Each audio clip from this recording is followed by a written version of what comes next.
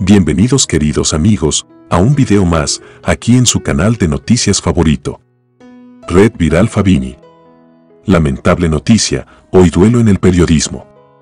Pero antes de continuar con este video, quiero invitarte a que te suscribas a este canal, actives la campanita de notificaciones y a que me apoyes con un gran like.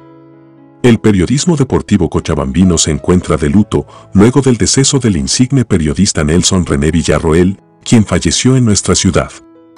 Recordado por su inimitable timbre de voz, sus comentarios y opiniones al punto y su gran conocimiento del deporte, Villarroel fue uno de los periodistas con mayor trayectoria de Cochabamba y que brilló también en Bolivia y fuera de las fronteras del país.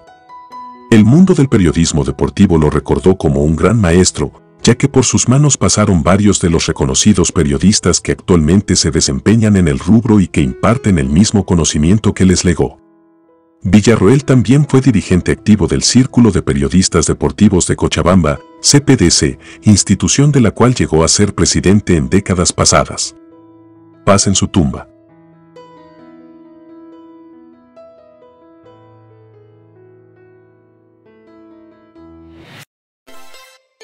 Hemos llegado al final de este video, pero tu opinión es lo más importante para nosotros. Quiero invitarte a que comentes aquí en la caja de comentarios.